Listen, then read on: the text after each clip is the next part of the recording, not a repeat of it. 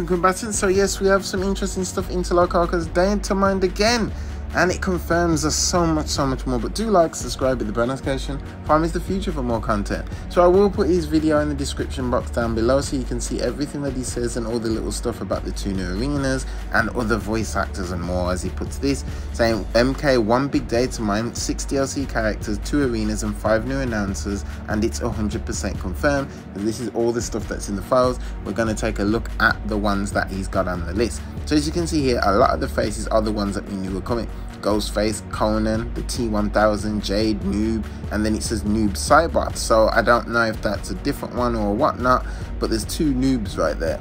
And then we have Harumi, we have Cassie, Cassie Cage again, and then we have Jackie, Jackie Briggs, we have Kung Jin, and then obviously we have Johnny again at the bottom. No idea why the Johnny one's there. Maybe he is going to get a cameo. Now, some people on this list are cameos and some people aren't cameos. Some are characters, some are cameos and whatnot. Now, this is for playable characters as it's a switch. Now, in a minute when we go to the part where we see Cyrax and Sektor, you will see that Cyrax and Sektor have both Cyrax as normal, and then Cyrax cameo, Sektor as normal, and Sektor as cameo. So right here you can see that all these are definitely coming. So we have the confirmation. We've known this one for a very long while, but it's still good to see that Jack, Cassie Cage and Jackie and Kung Jin are possibly on their way too.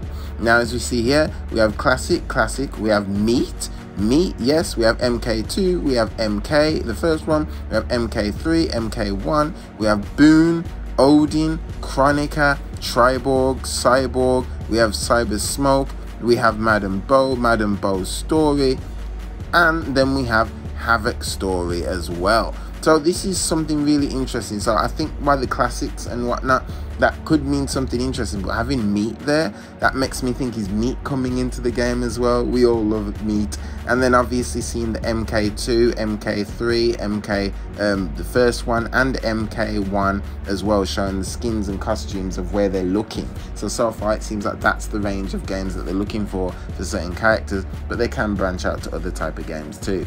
Now the last thing, which is what I was on about, as you can see there, you can see it says Cyrax, but then it says Cyrax Cam, and then right down there it says underneath Scorpion Cam, it says Sektor, and then Sektor Cam. So that shows once again that we are going to be getting them type of characters, which is really good. I'm glad that we're getting the Cyber Ninjas back but getting a cyber smoke skin that's what i'm very looking forward to and as we know the data line patches have revealed recently from Interloko that he has his voice lines in there now so that means that skin could probably come with takeda or it could come at any shadow dropping time right now i would love that as soon as that comes i'm buying that skin straight away but obviously that is all the things there I, like i said you can watch this full video and see what he says about everything else the two arenas and whatnot chaos one and everything but let me know what you guys think of all this and can you not wait for all this stuff? But do like, subscribe. This is your boy Future Boy, and that's Future. Stay fast, peeps. Peace.